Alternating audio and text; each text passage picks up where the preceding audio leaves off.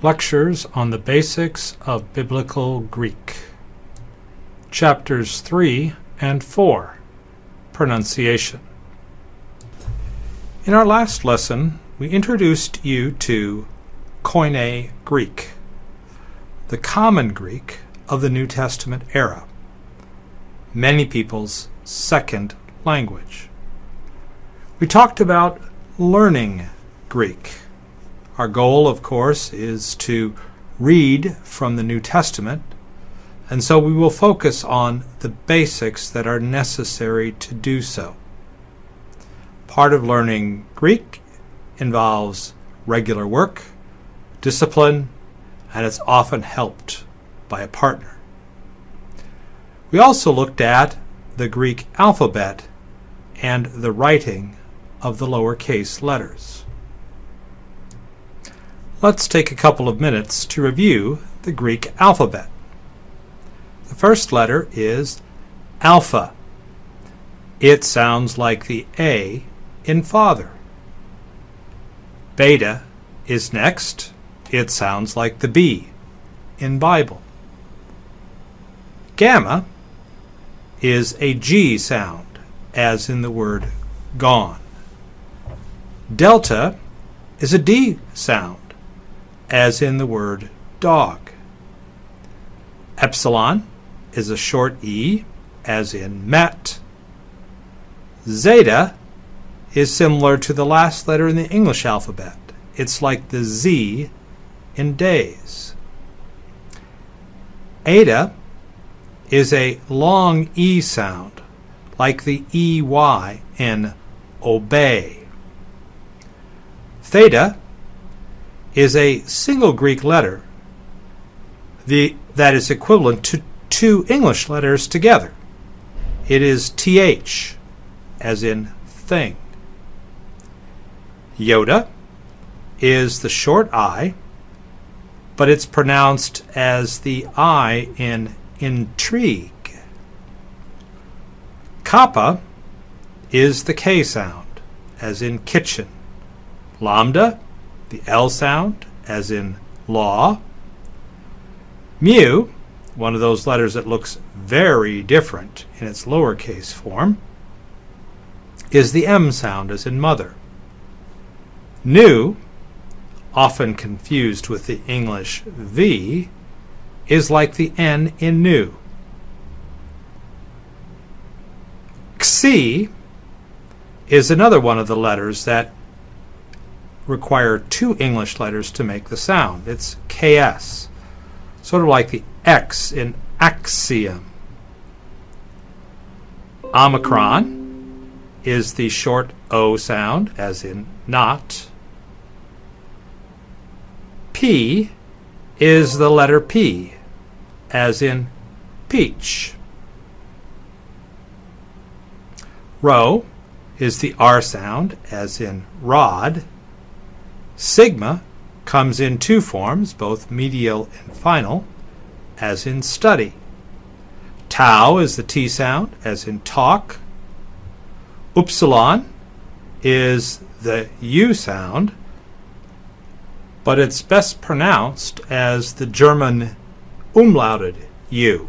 U. Phi carries the sound of two English letters, P and H, as in phone. Key is the hard CH sound, as in lock. Psi again conveys the sound of two English letters, P and S. It's like lips. And omega is the long O sound as in tone. Today's lesson covers additional factors necessary for the pronunciation of Koine Greek using a system that developed in the Renaissance. It's important with a dead language like Koine Greek to still pronounce it as that pronunciation, that additional sense, helps in the learning. We'll look at pronouncing letters, breathing marks, diphthongs, punctuation, and diacriticals. One of the best ways to learn the Greek alphabet is to pronounce the letters out loud as you write them down. As you go along, you will discover that these letters listed here sound just like their English counterparts alpha, beta, gamma, delta, epsilon, iota, kappa, lambda, mu, nu, pi, rho, sigma, and tau. The letter gamma in Greek sounds like a G in English, except when it doubles or combines with another letter formed deeply in the throat. This usage is called the nasal gamma, so the leading gamma gets read as an N sound. So instead of aggelos, it's angelos, from which we get our word angel. So if a gamma occurs before a gamma, before a kappa, before a chi, or before a xi, it will be nasalized in enunciation. Vowels in Greek are enunciated differently. Epsilon and omicron are short, and short generally means quick sounds. Eta and omega are always long, and their tone is held a bit longer. A and O. Alpha and iota can either be long or short, and the duration of the sound may be an indicator that way. We're not going to press it too hard in this class. So while you are helped on your way by familiarity with the sounds of English vowels and consonants, there are some distinctives in the behavior of Greek.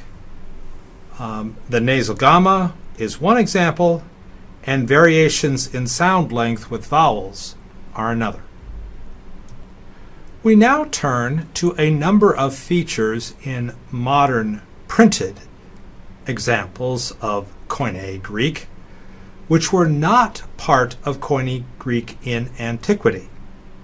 In antiquity, Koine Greek was written all in capital letters with no spaces between the words and no punctuations. When a line came to an end, one continued the word on the next line.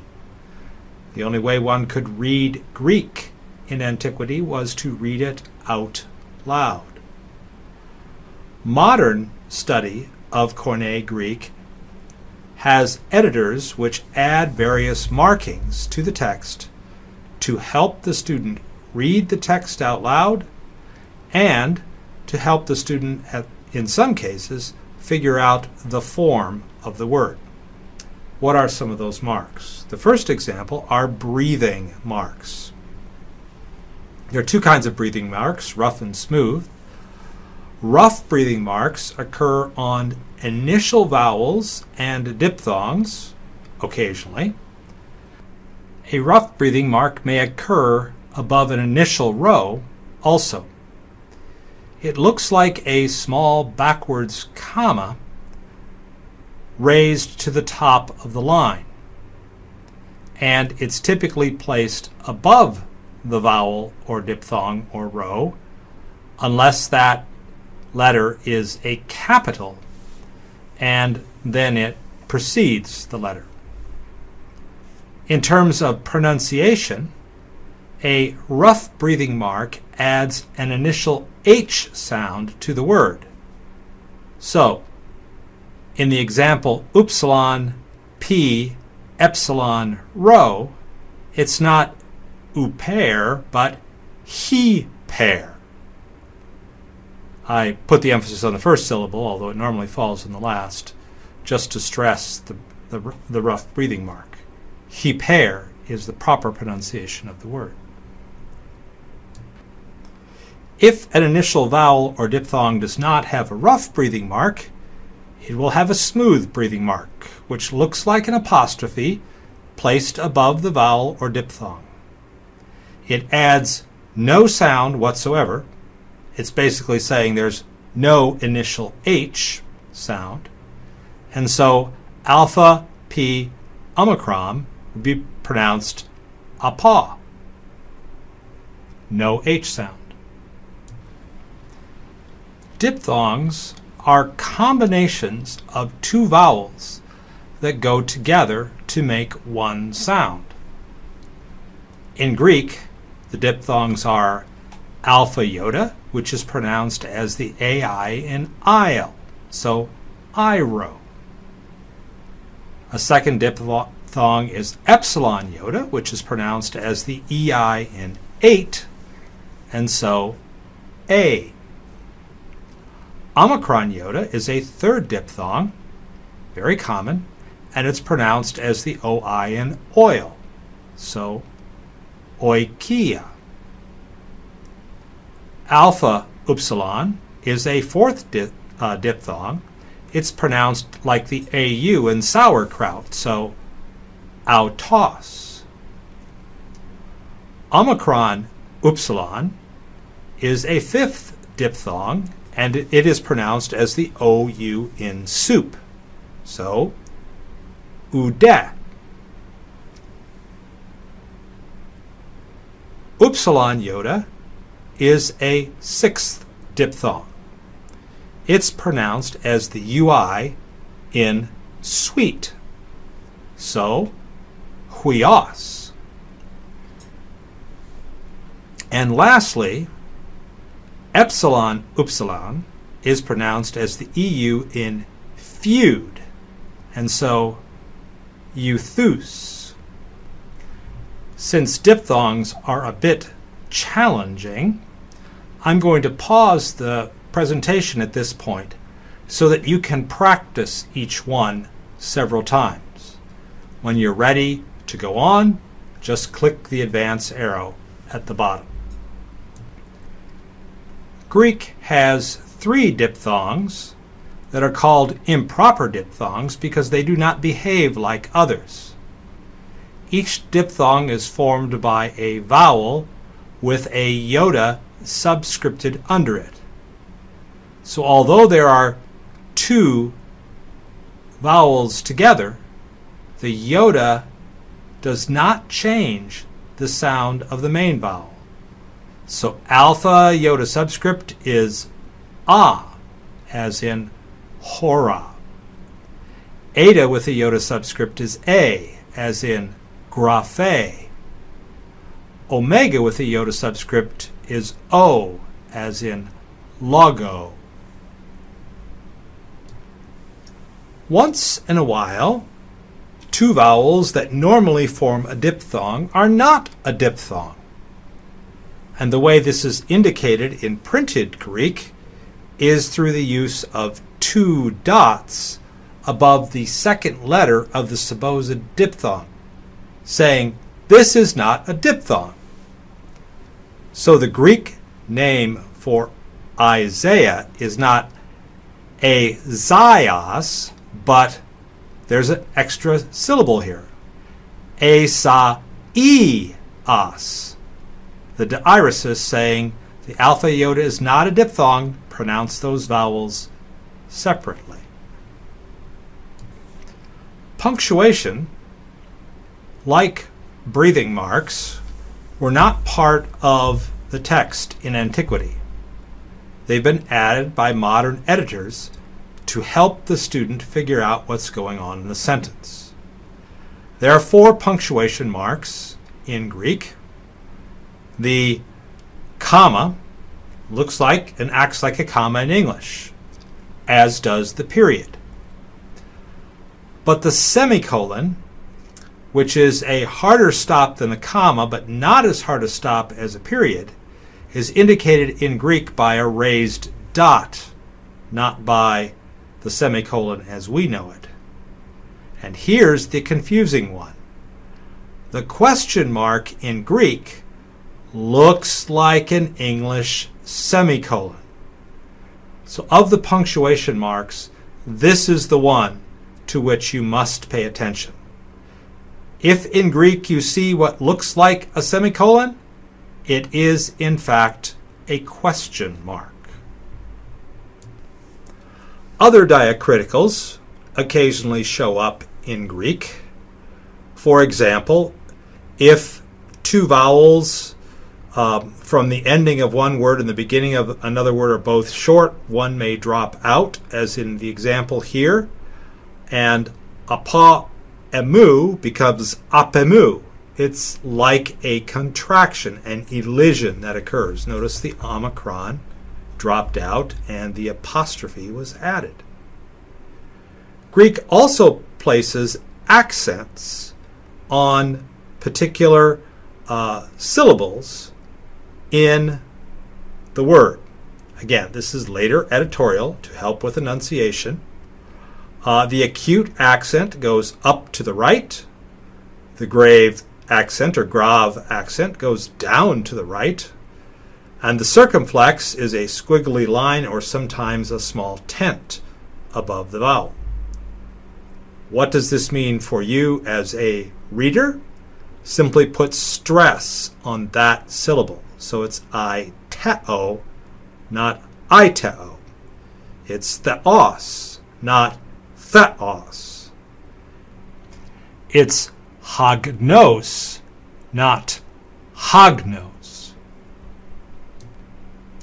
One can study the rules of Greek enunciation, but learning occurs by reading, reading out loud.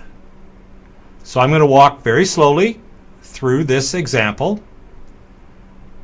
I will pause the slideshow at the end of example and encourage you to repeat it before you continue the presentation. Here we go.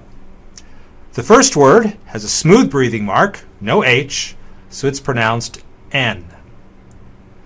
The second word also has a smooth breathing mark, but notice the accent is on the improper diphthong, RK. The third word in the first line has a smooth breathing mark with an accent on the first syllable, ain. The fourth word has a rough breathing mark with no accent. Remember the rough breathing mark adds an H sound, ha. And the last word in the first line has a stress on the first syllable with the acute accent. Logos. The line as a whole reads NRK ein hologos. Translation In the beginning was the Word. Line 2. Kai. It has a, a grave accent on the last syllable because that word is followed by another word. That's why you use the grave accent instead of the acute accent on the final syllable. And then our friend ha again, and logos again, and ain again. The fifth word is a single syllable with an emphasis on the omicron. Pros. It is followed by the article ton and then the word for God, which you probably guessed by now theon. The whole line reads, Kai ha logos ein proston theon. And the word was with God. The last line repeats words that we've had previously. Kai theos ein ha logos. Kai theos ein ha logos. And the word was God. So the whole verse reads this way. En arche ein hologos, kai hologos ein proston theon, kai theos ein hologos. I'll pause the presentation now and ask you to try and read this through out loud a couple of times. The focus of this lesson has been on pronouncing Greek We're using a system that developed during the Renaissance. Parts of it are artificial, such as breathing marks, punctuation, and diacriticals. But those help make sense of the text, especially for the beginning reader. The most important activity, though, at this point is to practice, practice, practice. Go syllable by syllable, then repeat the whole word, then go on to the next word. But please practice out loud.